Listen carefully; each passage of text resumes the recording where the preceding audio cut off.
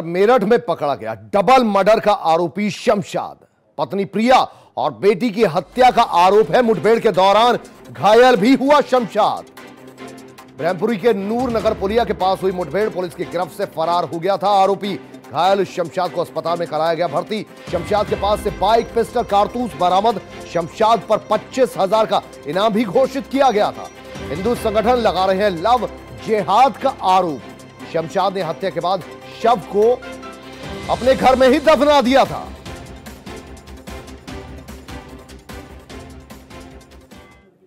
जिस प्रकार से मेरठ में लव जिहाद के माध्यम से एक महिला और बच्ची को मार करके उसको ज़मीन में गाड़ दिया गया ये बहुत ही आ, दिल दहलाने वाली घटना है।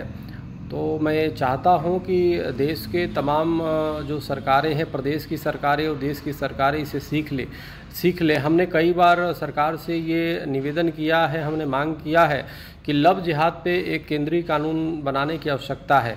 ये घटना मेरठ की तो एक सिर्फ़ एक आईना दिखाता है। इस तरह की कितनी घटना, हज़ारों लाखों घटनाएँ हो जाती है, जिसमें हिंदू बच्चियों के साथ किस प्रकार से उसकी जीवन को बर्बाद किया जाता है, पहले उसकी इज़्ज़त के साथ खिलवाड़ किया जाता है, उसके बाद उसको हत्या भी कर दी जाती है।